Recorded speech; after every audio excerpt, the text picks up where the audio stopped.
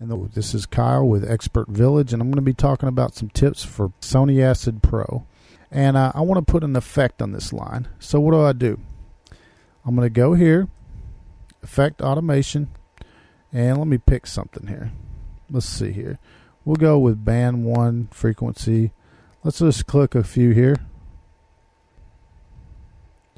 Audio plugin, because this is where your plugins are. Now you might need to maneuver the screen around a bit here while you're doing this, but um, here's what you do. Like right here, this plugin is a basic band. So just on the fill part, I have a